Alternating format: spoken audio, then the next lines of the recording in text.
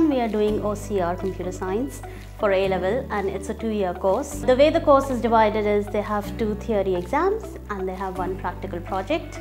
At Ashbourne, we learn VisualBasic.net, we learn a bit of Java, we learn a bit of Python. I give students the autonomy to choose whichever programming language they want to use. We start the year by taking them to a robotics workshop and they get really excited about it. They get introduced to programming, they get, they, they get hands-on with all the things that they're doing on the day. Then we always take a trip to Bletchley Park and that really gets the students interested in, um, you know, what are the different ways they can actually use computers to you know different fields. We also do uh, lots of day trips so we would go to Imperial College for talks on computer science but these clubs are run by the students so they have the autonomy to choose what they want to do. I just provide the tools and I'm the facilitator and they would just go off and lots of students join our clubs so it's a lot of fun. Studying computer science at Ashbourne was very fun.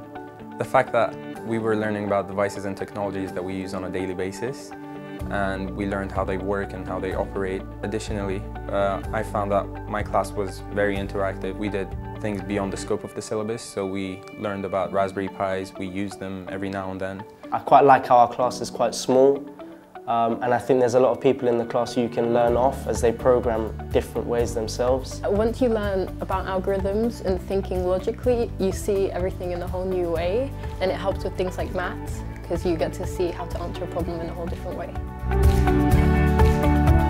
So National Cipher Challenge is uh, a cryptography challenge. Every year University of Southampton runs the challenge.